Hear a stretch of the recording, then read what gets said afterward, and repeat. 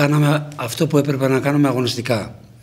Συγχαρητήρια στα παιδιά για ακόμη μια φορά για τη διάθεση ε, και για τη σοβαρότητα που δείχνουν στο κάθε παιχνίδι. Σήμερα είχαμε ένα πάρα πολύ καλό ρυθμό από το πρώτο μέχρι το τελευταίο.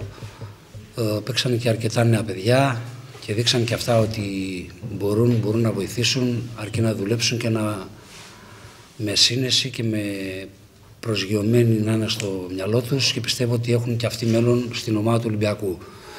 Ε, μονόλογος νομίζω και στα 90 λεπτά δεν υπήρχε φάση, δεν υπήρχε ούτε ο Καραγγελίδης απειλήθηκε ούτε η άμυνά μας είχε σοβαρές ε, πιέσεις.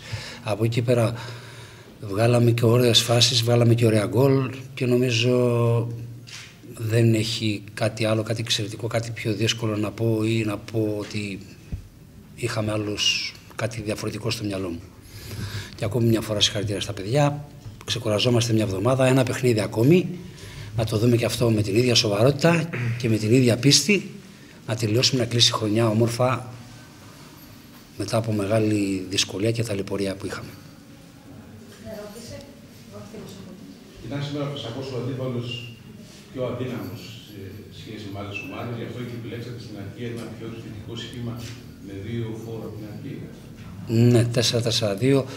Ε, πίστευα ότι έπρεπε να έχουμε δύο φόρ να γεμίσουμε την περιοχή για να κάνουμε ένα γρήγορο γκολ γιατί βλέπατε ότι όσο άντεξε ο αντίπαλος μας δυσκόλευε, ερχόταν το άγχος ενώ ξεκινήσαμε πολύ καλά στο πρώτο δεκάλεπτο τέταρτο ε, όσο περνούσε και χάσαμε δύο-τρεις ευκαιρίες, μετά οι πάσες δυσκολευόταν. Γινόταν πιο δύσκολη και πιο αγχωμένη.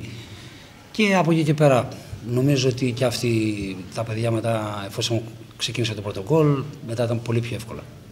Ήταν ένα δεκάλεπτο το 10 με το 20 εκείνη κάπως μικρό διάστημα.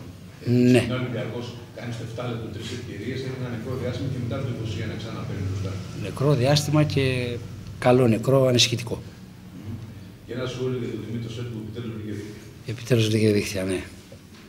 έκανε δύο ωραία γκολ, έκανε και δύο-τρεις άλλες φάσεις.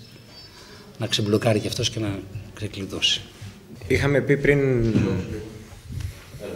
Είχαμε πει πριν από το προηγούμενο παιχνίδι ότι έχουμε τρεις τελικούς.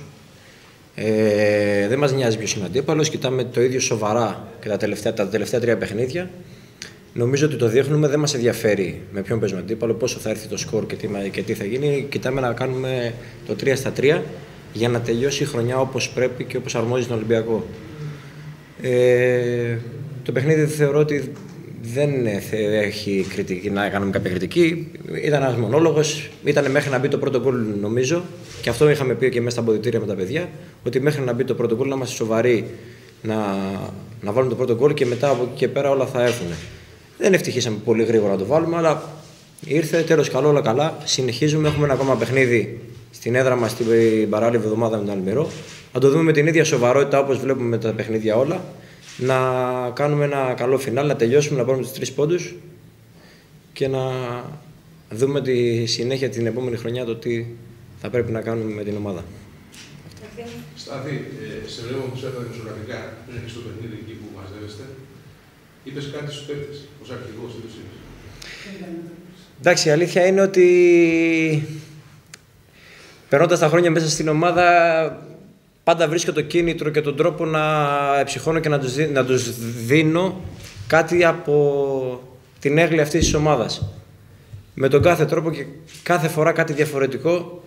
Την προηγούμενη αγωνιστική π.χ. ήμασταν εδώ, μπήκαμε στο ΕΑΚ, κάποιοι δεν είχαν ξαναπέξει, κάποιοι ε, δεν ξέρουν πώς είναι το ΕΑΚ, δεν ξέρουν ποια έδρα είναι η πραγματική του Ολυμπιακού. Το καταλάβαν από την προηγούμενη αγωνιστική και κάθε φορά είναι κάτι διαφορετικό και κάτι, κάτι καλό. Όπως, όπως σε όλα τα παιχνίδια έτσι και σε αυτό. Δεν έχει να κάνει. Το τι είπα είναι κάτι που μένει σε εμά